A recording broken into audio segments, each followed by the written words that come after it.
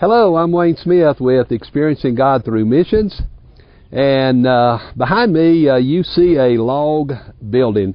Uh, many years ago, this log building was put here for as a showroom uh, to sell log homes.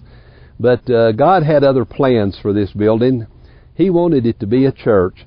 And over the years, He has converted it into the Granger Baptist Church, which is now a mission church of Hilltop Baptist out of uh, Green River, Wyoming. And as you can see, uh, all of the cars around here, this is not a typical Sunday service. This is a Share Your Faith workshop service on a Saturday.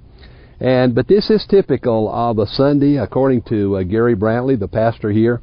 They have just completely uh, run out of room for worship services, and they have asked us, the Experiencing God Through Missions team, to come during 2009 and help them build a uh, a new worship center, which uh, more than likely will will be built uh, right beside of this building, and this one will be used for uh, Sunday school classes.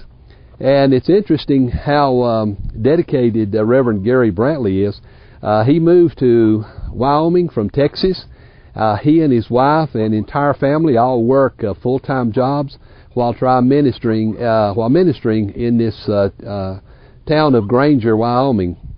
And uh, we'd like to ask you to help on this project next year because, as you might have already heard, looking at some other videos or some area, our team is dedicated to building two churches next year.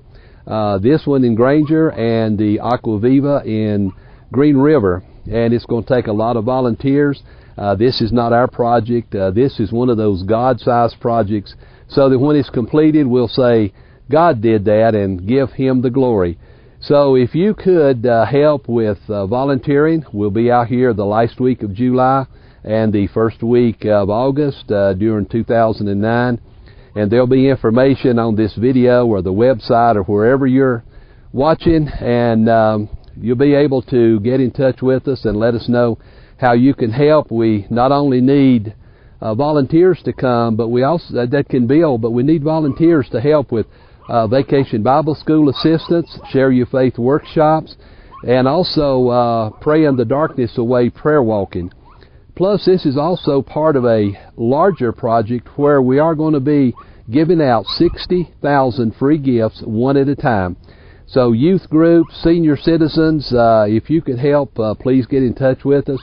If you have access to building materials, we're going to need for both churches we're going to need trusses, by sixes, insulation, heating and cooling systems, windows and doors.